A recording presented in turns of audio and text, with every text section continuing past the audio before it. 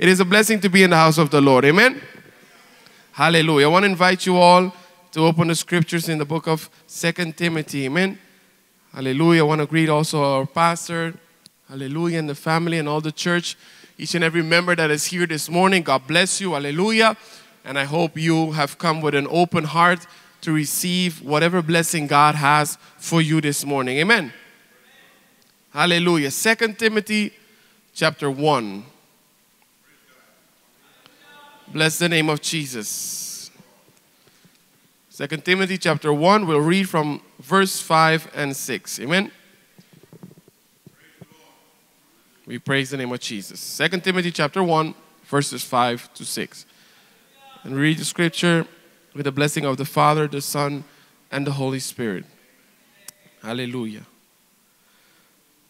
When I call to my remembrance the unfeigned faith that is in thee, which dwelt first in thy grandmother Lois and thy mother Eunice, and I am persuaded that in thee also. Wherefore I put thee in remembrance that thou stir up the gift of God which is in thee by the putting on of my hands. Amen. You may be seated this morning. Hallelujah. May the Lord add his blessing unto his word. Blessed be the name of Jesus. And we'll be studying the word of God this morning under the topic stirring up the fire that is in us. Amen. Stirring up the fire that is in us. We have been receiving many blessings these days. Hallelujah. And one of the main things that God has been calling us to do or to be aware of, to be conscious about, is that His fire is still in, in our hearts. It is that His fire is still burning. Blessed be the name of Jesus. Is that His fire, His presence is always there. Blessed be the name of Jesus. Is that His fire, the fire of His presence, the fire of the Shekinah, of the glory of God, is always and always omnipresent, always there. Amen. How many can praise the Lord?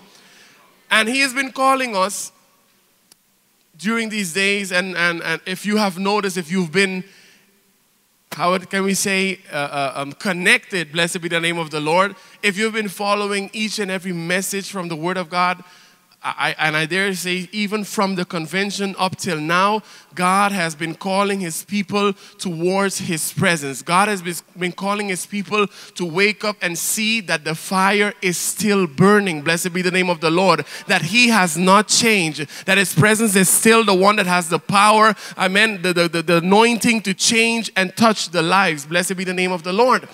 And we know that the fire of God is one of the symbols that God uses in his word, amen, to represent himself. And he's speaking here through the Apostle Paul towards Timothy. Blessed be the name of the Lord. Because there came a time in this young man's life that maybe he thought that the work was too big. Maybe he thought that he was not worthy. Maybe he thought that he wasn't able to do the work of God because of his young age, because of uh, the less experience that he had in regards to Paul. Blessed be the name of the Lord. But the Lord speaks towards him through the Apostle Paul and tells him, The fire is in you. You have it inside of you. Hallelujah. The only thing you and I need to do is to fan it into a flame, is to wake it up, is to stir it up in our lives. And the apostle re- reminds him and tells him, Timothy, you have always had the fire. From the time that you were born, your, your parents, your mother, your grandmother took the charge to put that fire inside of you, to, to make you aware of the presence of God in your life. From the day we come to the Lord Jesus, God puts His presence in our life. How many believe that? From the day we accept the Lord as our Savior, as our God, His presence comes and lives in our life, lives in our heart. What the Lord did in the times of Egypt, in the time of the Exodus, He came down and lived in the tabernacle among His people. But now, when we come to Him, when we come, when we receive Him in our lives, He doesn't come in the tabernacle, He doesn't abide in the building, He abides in each and every one of our hearts. So the presence of God is here. How many can believe that? But it is us sometimes, just like the apostle, the, the, the, this disciple Timothy, this young man, that we forget sometimes that God is in us, that the fire, that His presence is in our lives. And you know that fire has the need, there need to be three things in place in order to have fire. Amen? We need oxygen, you need fuel, and you need heat. Amen? These three things are important and essential to have fire. You need to have oxygen, you need to have a fuel, and you need to have a heat present in that place. And I want to bring that to your awareness this morning. If God is calling us to wake up that fire that is in us, to revive it, to fan that flame. Why is He saying that? Why is He calling us to do that in our lives? Is He calling us to drink fuel? Is He calling us to breathe more oxygen? Is He calling us to burn ourselves as, as, as the heat, to bring heat in our lives? Is that what He's calling us to do? No. We need to understand what God is calling us to do. If we see, we notice oxygen. All of us need oxygen in our lives, otherwise, we wouldn't be alive. Isn't that so? The air that we breathe is the oxygen. Without oxygen, we cannot exist.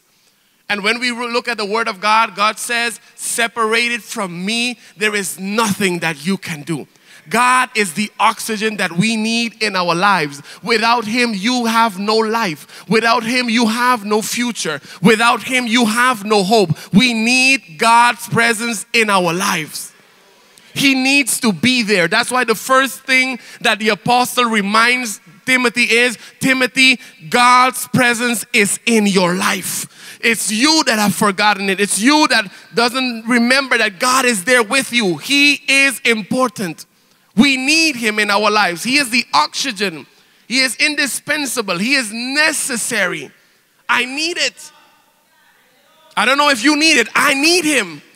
I need the presence of God in my life. I need that oxygen of His presence. Blessed be the name of the Lord. When we notice when we get sick and maybe you're in the hospital and maybe you fall in such a condition that they need to connect you to the oxygen because you are not able to breathe on your own. And we see that the doctors tell the, the, the family or the person that is responsible for the one that is sick, they tell the person he is connected to the machine. And we cannot disconnect him because if we do, he cannot breathe on his own. For the time being, he's going to need the oxygen until he can breathe on his own. Well, let me tell you, we cannot breathe on our own without God in our lives. I cannot exist without God in my life. I cannot be without God in my life. He is the one that gives my life meaning. He is the one that gives my life existence, a reason to keep on living. Why do you think people want to take their lives?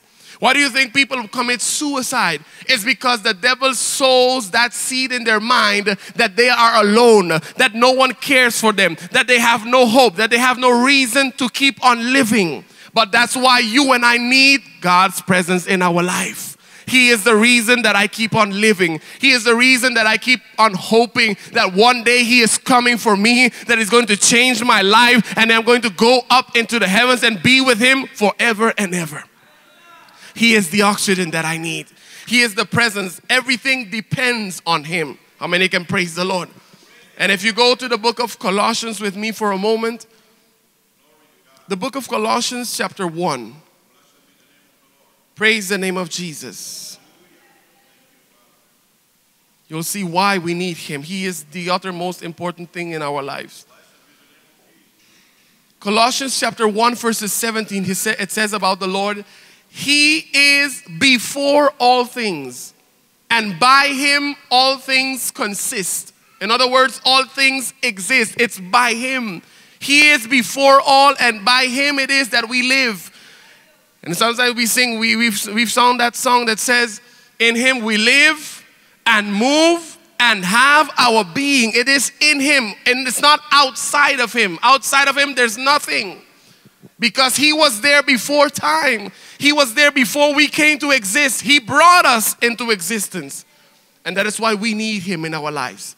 He is the oxygen that you and I need. And if we move on to the other element that is very important to have fire in our lives, we spoke about fuel. Fuel is anything that has the ability to burn with ease. Anything that can burn easily, we, it can be considered as fuel. And you might say, well, what can be the fuel for the fire of God in my life? What is the fuel? If I have God, but I don't have the fuel, what is the fuel?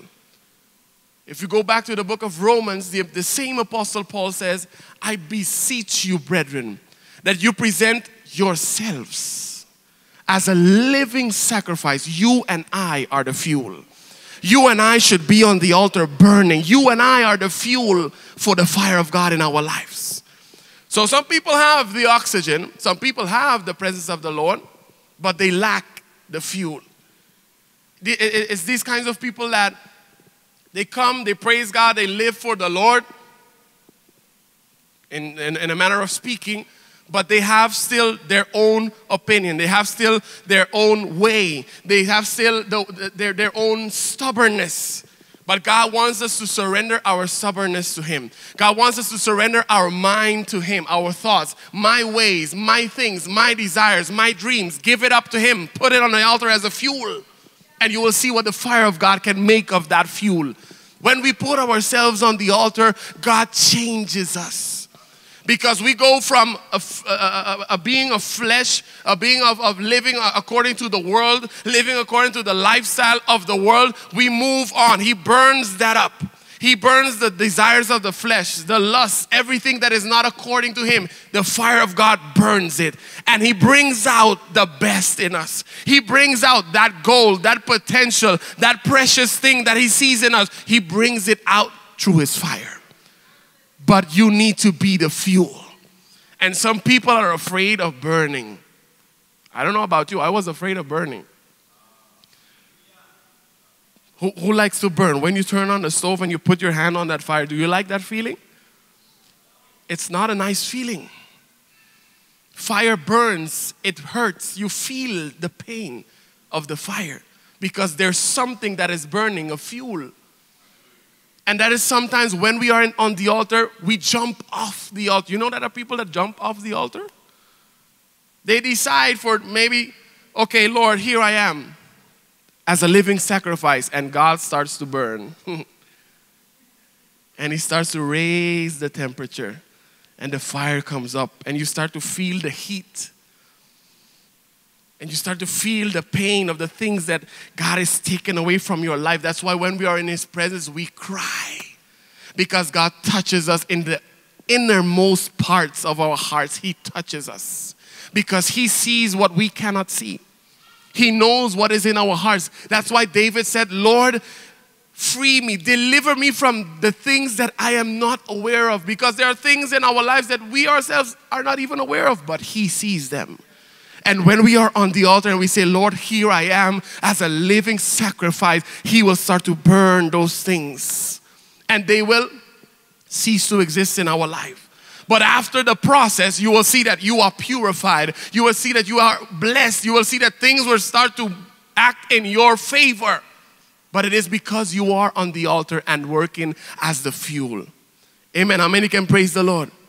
How many can praise the Lord? So we need the oxygen, which is God in our lives. The fuel is you and I as a living sacrifice on the altar. But there is still an element that is missing. Which element?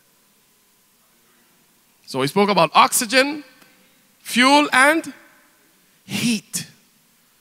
The heat is important in order to wake up fire. Blessed be the name of the Lord. Now you might say, how can we bring heat in our lives? How, how, how can heat, what, what, is, what is the thing that God considers heat for his fire to burn in our lives? That in order for me to awaken it. And, and, and notice, all of this is before you can fan the flame. Amen? You need to have these things in place before you can say, okay, now I'm going to stir it up. These things should be in place. So the heat talks about high temperatures. Heat is an energy that passes through one vessel or a body towards another, and it causes expansion and changes the state of the thing that is burning. Amen? In other words, we can call it friction. Heat is friction, literally friction. Heat is when cells, molecules start to rub against each other. When the molecules start to rub against each other, it causes heat. And we can say, fr- it's about the friction. Temp- high temperature, what does the high temperature do to our body? When we are sick, what does the body do? The body raises the temperature because there's something wrong inside our body. And our, our, our God, that is so wise and omniscient, He causes our body to raise the temperature. That's what we call a fever. But it's a fever not to kill us, but it can kill you. But the body reacts because there's something wrong inside and it reacts by causing friction. The molecules start to rub against each other to raise the, temper- the temperature to kill that virus or that infection that is going on inside.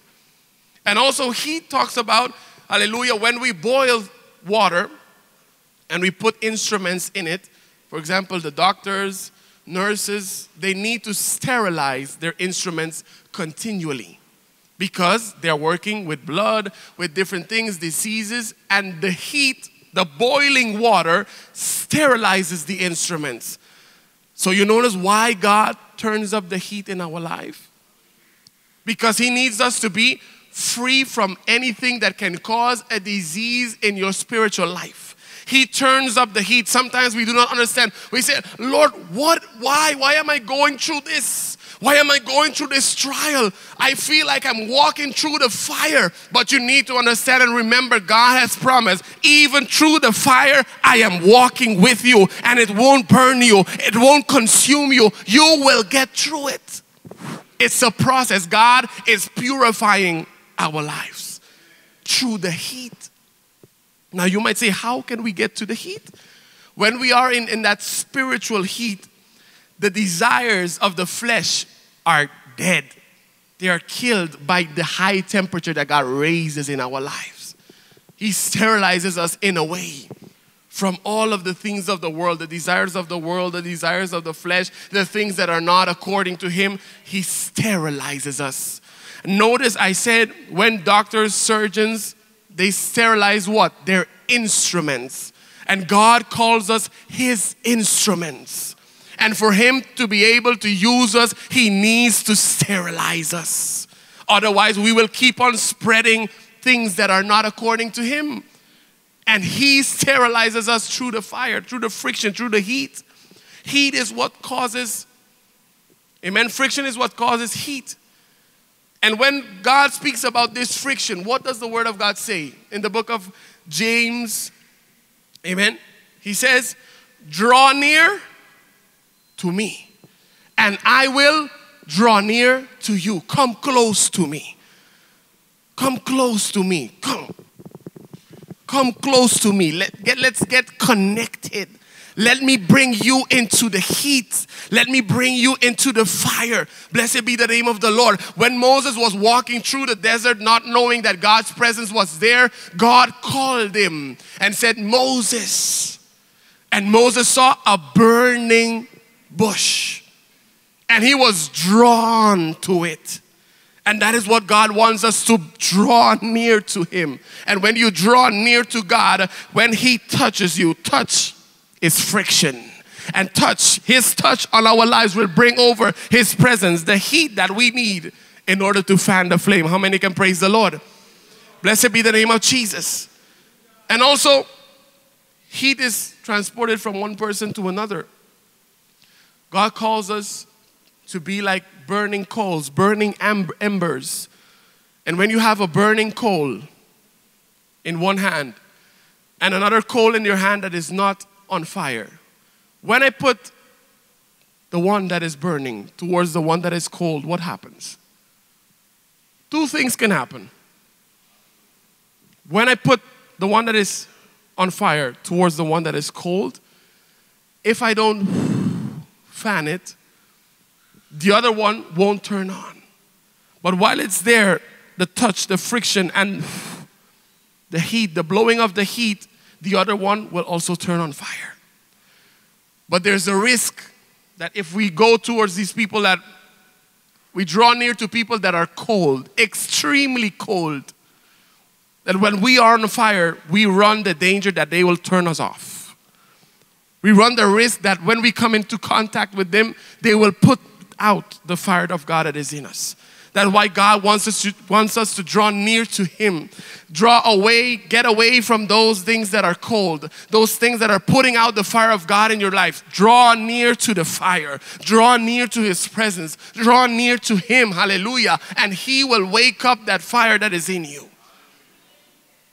But then there's the other case that if I have a burning coal on one side and another burning coal on the other side, and when they come together, what happens?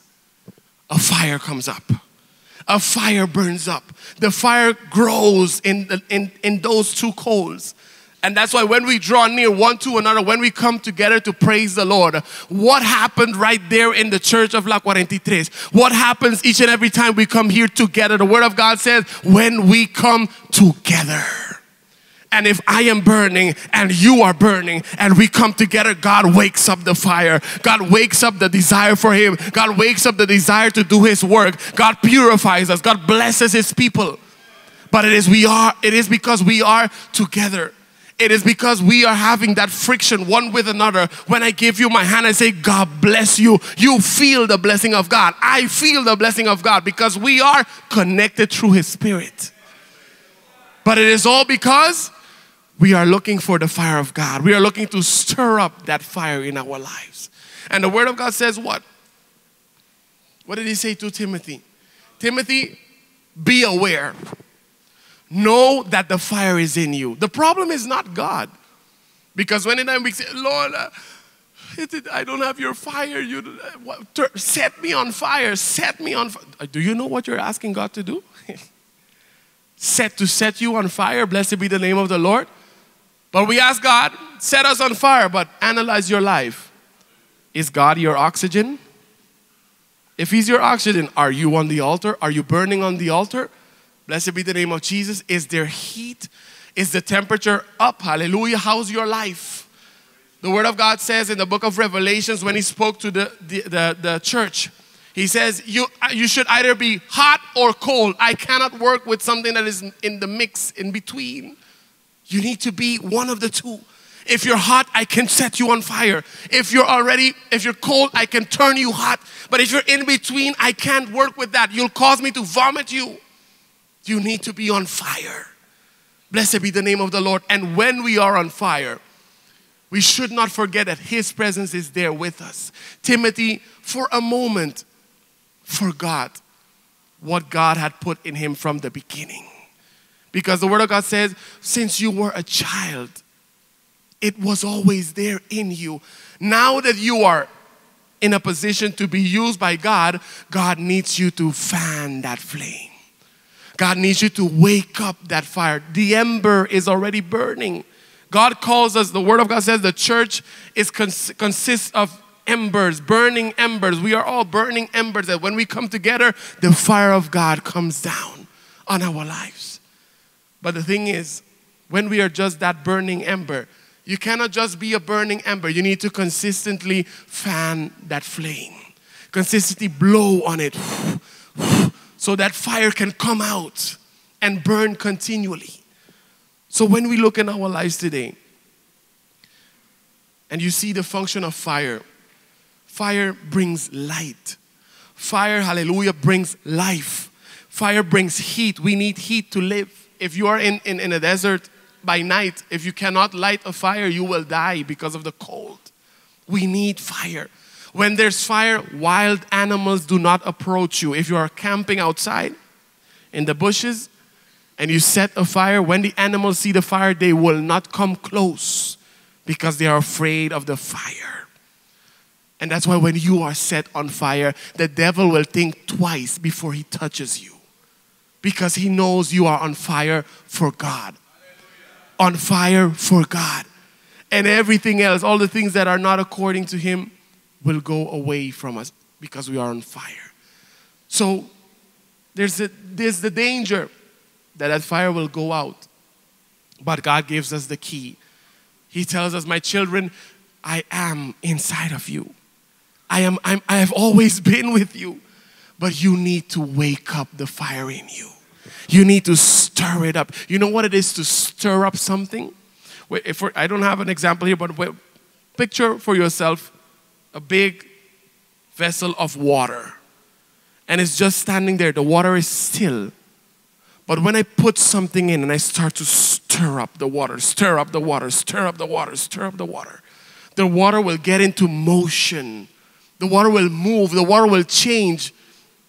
There will even be a little bit of foam. The water changes. There is movement. And that is what God wants in our lives. Stir up the fire. Stir it up, fan it, bring it into life. Bring God's potential out because He sees it. That's why He's in us, because He sees the potential in us. And all He needs for us to do is fan the flame. Don't worry about how much, how what you have to, all you have to do is fan the flame. Blessed be the name of the Lord. Let's stand to our feet this morning. And you you analyze your life this morning. What is missing? We are asking for his fire. We know that he's going to do great things through the fire of his presence, but in order for that to happen, first we need to analyze am I still missing the oxygen? Is God the first, the last, and everything in my life? Am I burning on the altar as He wants me to be? Are my desires surrendered to Him? Are my dreams, my goals, everything, are they subjected to His will?